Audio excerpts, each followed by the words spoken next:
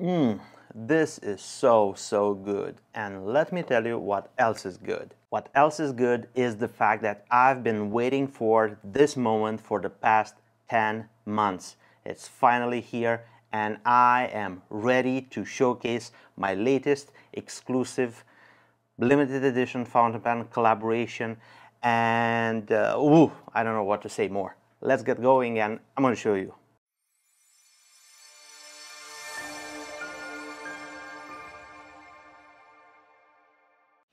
Welcome. It's your host Emy from PenVenture. I hope you missed me and I am back with another video. This time it's not a video regarding coffee, so let's move that out of the way and let's turn our attention to what's on the table at this moment. I have here two pen pouches right here and inside of them it is the result of the collective effort um, that spanned through the last few months, if I'm not mistaken, well over six to eight months, almost 10 months. And it is a very interesting writing instrument collection. First of all, this is not a review video, but just like in other videos on the PenVenture YouTube channel, I'm to walk you through all of the design feature of this collection. I'm to tell you the ideas and the inspiration behind them. I want to tell you a few facts regarding them. We will have a size comparison writing sample with one of the pens because we will have two individual colors and in the end I'm going to tell you where you can find these writing instruments if you are interested to own them and we will end the video. First of all, the box. Well, the box is not here. It is the normal Leonardo Momento Zero Grande box with an ink bottle. You will have to wait another minute before you can see them. The name of this collection is the Leonardo Officina Italiana Momento Zero Grande 2019 Urushi limited edition exclusive to PenVenture and that is a long long name. Let's start with the one that's closest to me and it is the one right here. I'm gonna move those two aside and this is the Leonardo Momento Zero Grande Urushi PenVenture exclusive in Aka Tamenuri. Before going into the details, I'm going to show you the second pen. I'm going to put this right here just to have them rest securely. This is the Leonardo Officina Italiana Momento Zero Grande PenVenture exclusive Urushi and this finish is named Midori Tamenuri. So we have Aka Tamenuri and Midori Tamenuri. Now let's start with the overall idea of this project? Well, the idea came to me a few months ago. I was thinking about my usual passion in regards of collecting Leonardo Officina Italiana fountain pens and I've spoken with Salvatore and uh, we agreed that he will provide me with the base frame for a limited edition exclusive fountain pen that I can then collaborate with someone else and to apply some urushi finishes on the pens. We moved on to finding an artist that can apply urushi lacquer and uh, oh boy have I been a lucky person because I've stumbled upon Michael from uh, Tamenuri Studio and just for reference I'm going to link his social media accounts, his Instagram, his website. You will find his details in the description of this video and also I'm going to use uh, his Instagram and I'm going to try to link it up here so you guys can go there and show some love to this incredible artist. Well, Michael, it is based in Poland and he is a very nice person to work with and I am happy that I finally uh, have the fruits of his labor in front of me as you know, first of all, we started with a prototype, which is the Aka Tamenuri, this fountain pen right here. And uh, Michael made this fountain pen as a prototype for me. The entire collection numbers nine fountain pens, not including this Aka Tamenuri, which is the prototype. This is the 10th fountain pen. One of those nine fountain pens is with Michael. It is his artist proof fountain pen and the rest, uh, eight of them, four are Aka Tamenuri and four are Midori Tamenuri, which is the green one, Midori. For my, let's just call it uh, the PenVenture pen museum. I always keep one of every single font pen that I create. I just want to put them sometime on the wall behind me or a different one and to showcase uh, my legacy. Let's recap. We have a writing instrument collection numbering 10 pens. One is the artist proof, one is my prototype that left us with 8 font pens. Four are Midori Tamenuri, which is green. Four are Aka Tamenuri, which means red. From the green ones, one is mine, so we have three green and four red font pens available through PenVenture. Michael just sent me a big email describing all of his techniques and everything that went into creating this uh, collection. I'm not going to go into such such details, but I'm going to try to use some of uh, the clips that he sent me and uh, those uh, showcase the whole process that he went with in creating this collection. I hope the camera picks this color up because this is phenomenal. I don't know if we can capture the true uh, nature of this uh, Midori Tamenuri finish because it is sublime and um, we had great great difficulties trying to photograph these pens for our website. I don't know if it's uh, urushi or the nature of lacquer and the fact that the color has depth, but it was hard for us to capture that on the camera. Now let's get into the details. Actually, tamenuri, it is composed of two different words, tame and nuri. Tame mean, means pond, nuri means painting. Actually, the idea behind uh, this uh, style of finishes is the fact that you can imagine a pond and the water has different depths and you can see some of the things where the water is uh, deep. You cannot see and it's black. As you can see on the edges of each of these two fountain pens you can see a better image of the pigmented urushi coating. On the Aka Tamenuri is red.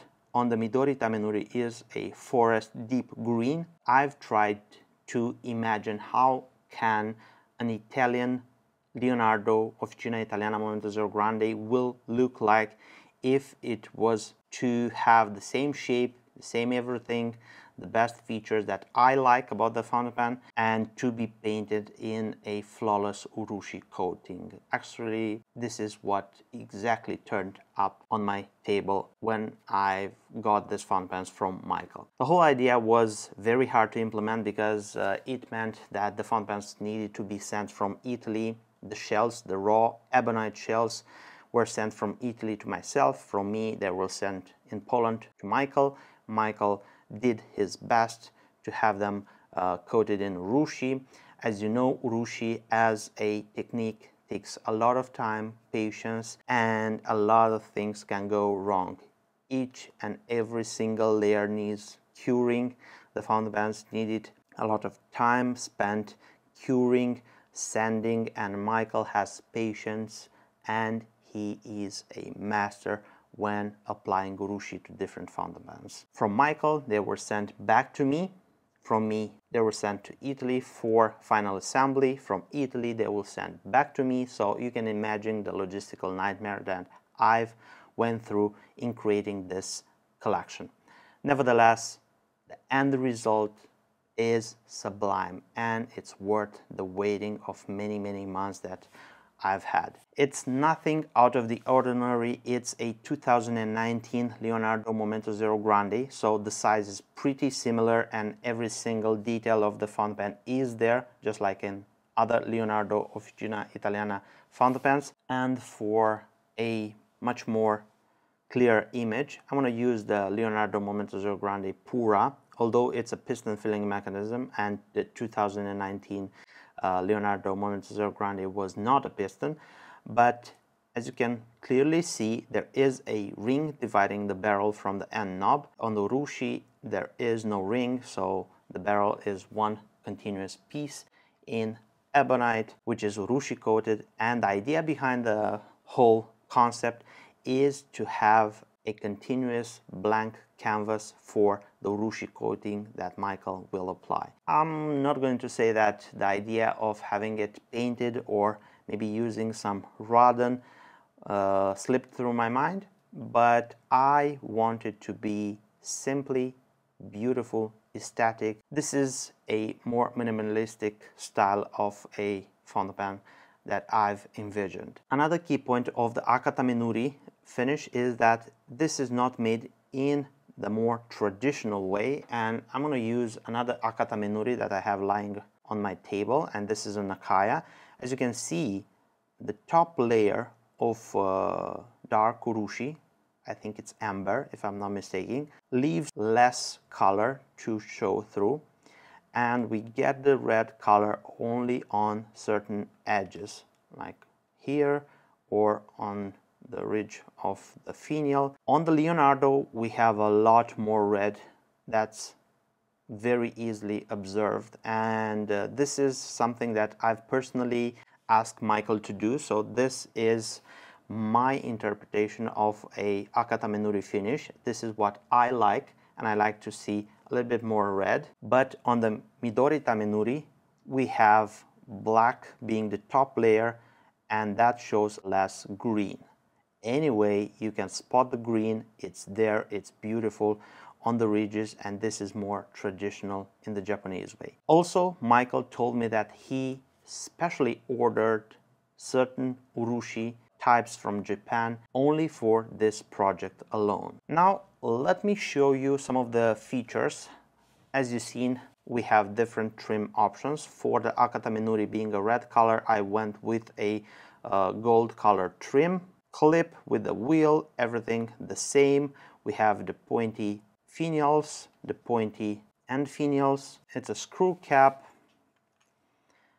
the nib, which is the 14 karat gold elastic extra fine on my Midori Tamenuri. We have a few nib sizes available for the Midori Tamenuri being a rhodium. We can have anything from extra fine, fine, medium, broad and 1.1 millimeter stub in 14 karat gold, two specialty nibs, elastic extra fine and elastic fine, ebonite feeds, on both fountain pens. On the Aka Tamenuri we have less of a nib range because it's gold colored trim and we need to use gold colored nibs. So we will have 14 karat JoWo, extra fine, fine and medium. As you can see, we have the same section and this is something that I find very, very comfortable for my taste. We have two different uh, dimensions in regards of uh, the section. We have an initial 11 millimeters right here.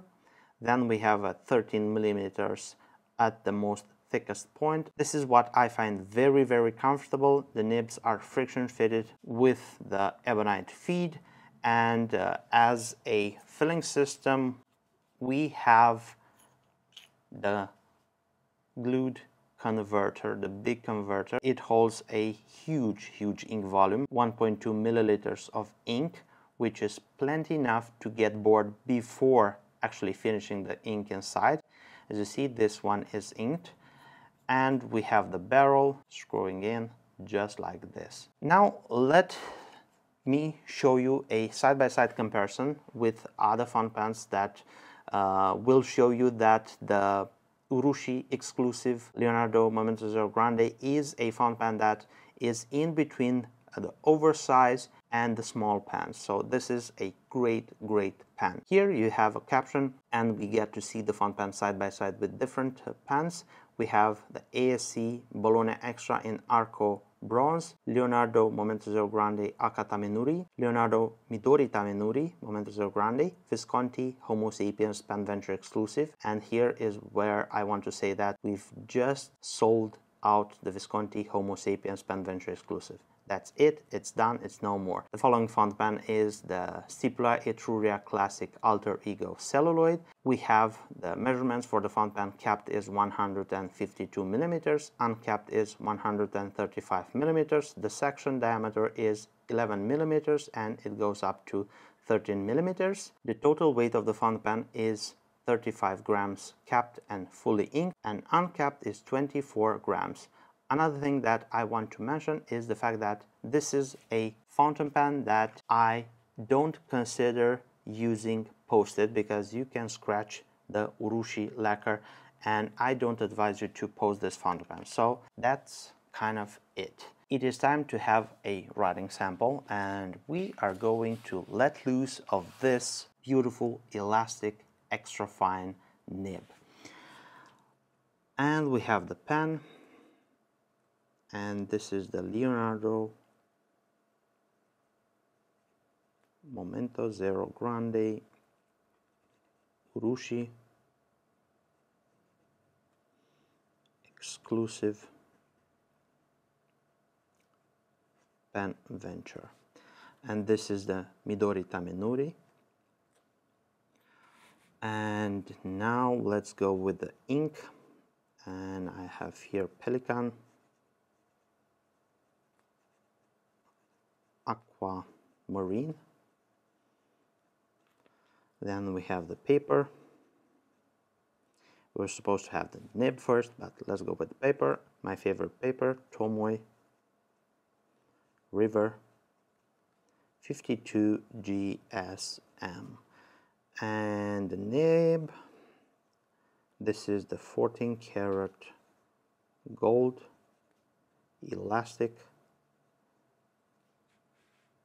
extra fine. Although it's not an extra fine in true true size because it's much more fine than you might expect but it's a wet ink flow as you can probably see. And uh, let's go with the double pass. It's pretty pretty wet and I would consider this um, a wet nib. Nothing over the edge or something in regards of a fire hose. And I know that all are uh,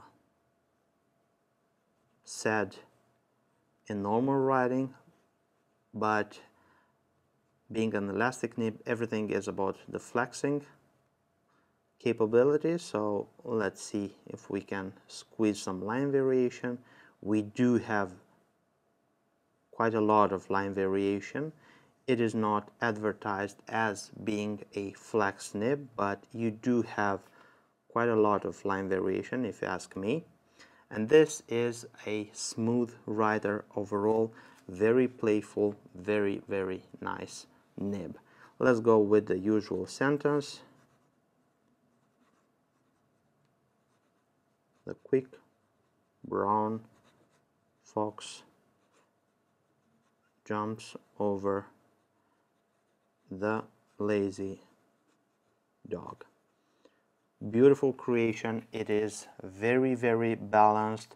It's not very wet. You can always adjust nibs to be much more wet but this is kind of the nibs that I currently use at this moment and uh, I've tamed a little bit in regards of uh, my current needs in regards of flow. That sums up my creations and um, I think they are beautiful pens. I know that there are a lot of people that pay a close attention to my uh, exclusive editions and I am very very grateful for those people and not only for those people anyone who supports PenVenture is a true friend of mine and he understands that this is my passion and I express myself through this passion. So the ideas for this fountain pens are mine and um, a big thank you goes out to Michael from Tamenuri Studio. Don't forget to visit his website. If you need something from him, you can find him on Instagram. Again, all of his contact details will be into the description of this video. Go there and said, hey, I'm coming from Emy and I just want to say a big thank you for you and for all of your work into the pen community because he deserves so. A big thank you goes out to Salvatore at Leonardo Officina Italiana because he puts up with me every single day since uh, the beginning of uh, his company and mine as well. We started in the same uh, period of time. He is uh, the kind of person that never said no to me, no matter how crazy are my ideas in regards of making pens. So a big part of this uh, project is due to the fact that he um, is uh, open and trusts me and my judgment in regards of going from uh, having an idea to implementing it and to have it into a physical writing instrument that you can hold in your hands and write with it. I hope you enjoyed this video and uh, my creations and don't forget if you are interested in owning such a writing instrument you can find uh, the links available in the description of this video. You can go there and uh, you can own them. They are a very very limited collection and uh, they will go just like this. If you want to support me doing videos like this don't forget to subscribe to the PenVenture YouTube channel. If you have any other questions, leave them in the comment section down below or write me an email. Down below you'll find also my social media accounts, website, email, everything and anything that you may want. If you're not subscribed yet to the PenVenture YouTube channel, you can do that by clicking here and turn the notification bell on. And if you want to see more quality content from PenVenture and myself, you can click on this video right here and enjoy. My name is Emy and I look forward seeing you next video. Take care, stay safe, bye bye.